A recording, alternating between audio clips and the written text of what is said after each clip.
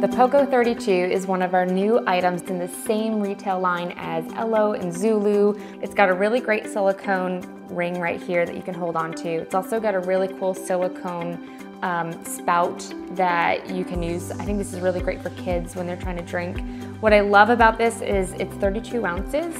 So when you actually take it off, you've got a lot of drinking room. You can easily get ice in there because it's really big.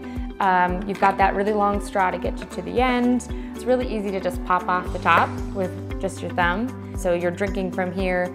It actually has a casing to go on top of it. So if you're putting in your gym bag, you're not rubbing it up against all of your gym clothes or your sneakers. It's always protected from where your mouth is going to be. If you're looking for a retail brand that's also cost effective, the Pogo is a really good one. So it's got a really big imprint area, one color imprint. It's really beautiful. Check it out, Pogo 32.